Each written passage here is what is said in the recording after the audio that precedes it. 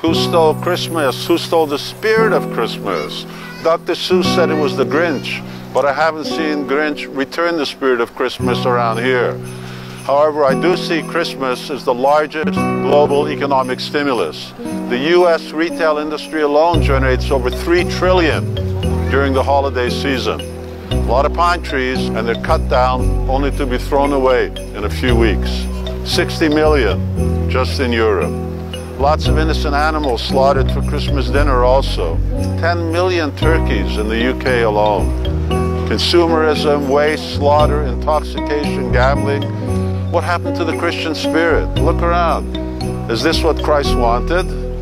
Granted, I do see a lot of shop owners praying, but it's for record sales. A lot of children also pray for special gifts, like their very own gun. And parents praying that they can afford it all.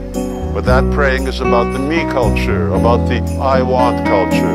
Not exactly what Reverend Scott Kilgore had in mind when he said, I think Jesus would say, if you really want to celebrate my birth, love the people around you. So why don't we try something new? Are you ready?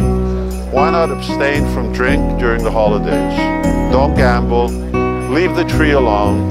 Give the poor turkey a break or whatever else. A new lease on life. Feeding the poor sign up for some community service, and above all, spend the holidays becoming more holy. By whatever faith or means that you know. And what you know, share that knowledge with others.